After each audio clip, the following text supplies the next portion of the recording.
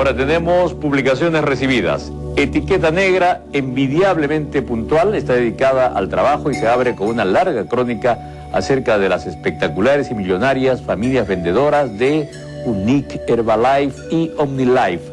Otra sobre el tesoro que le falta a Machu Picchu en referencia a las piezas llevadas a Estados Unidos y entre otras muchas cosas más, una semblanza del actor francés Gerard Depardieu.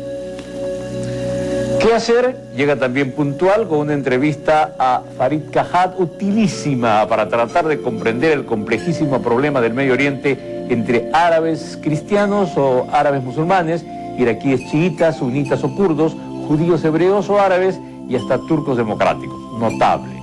También las consecuencias de la recesión en los Estados Unidos y Bosnia-Herzegovina, la paz fría o la guerra por otros medios en los Balcanes.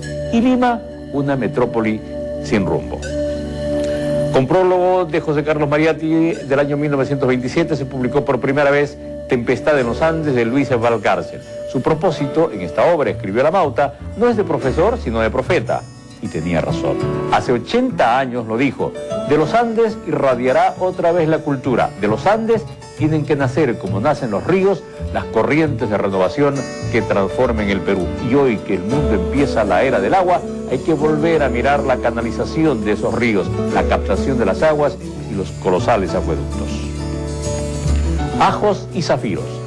Número doble de esta revista de literatura que se abre con ocho ensayos de interpretación de la literatura del conflicto armado interno en el Perú. Literatura de la violencia política o la política de violentar a la literatura. Además, una entrevista con Oscar Colchado, la violencia y el escribidor. Y relatos, poesía peruana con traducciones de poesía alemana contemporánea y una larga relación de interesantes reseñas de otros tantos libros.